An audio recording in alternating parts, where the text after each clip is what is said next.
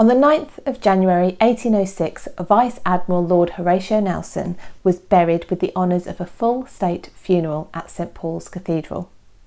His body had lain in state for two days from the 6th to the 8th of January in the painted hall at the Old Royal Naval College, Greenwich, on the site of the uh, Old Greenwich Palace.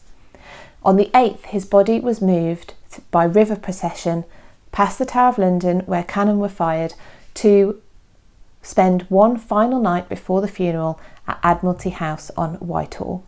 Nelson had died almost two months earlier on the 21st of October 1805 aboard the HMS Victory during the Battle of Trafalgar. A shot fired from the French ship Redoutable passed through Nelson's shoulder, through his lungs and lodged in his spine.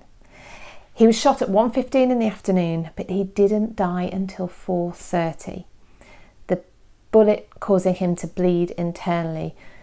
But he did live long enough to be told the news that the battle had been won and they were victorious. On the morning of the funeral, Nelson's body was taken from Admiralty House in a cortege that was longer than the just under one and a half miles that it was from Admiralty House on Whitehall to St Paul's Cathedral in the city of London. His coffin, made from the mast of a previously um, destroyed enemy ship, L'Orient, was taken on a purpose built carriage which had been carved to look like the prow and stern, or the front and the back of HMS Victory. Nelson was taken into the cathedral and his coffin lay on a platform under the Great Dome. During the service, his body was processed, or his coffin was processed up the nave and placed in front of the altar.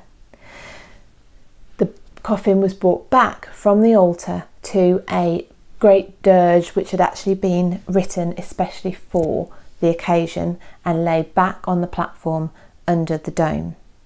His coffin was then lowered into the crypt where he is actually resting in a black marble sarcophagus intended for Henry VIII and originally commissioned by his chief minister, Thomas Wolsey. Visitors to London will recognise the name Trafalgar Square, named after Nelson's victory, and of course Nelson's column, which has the statue of Nelson towering 52 metres above the square.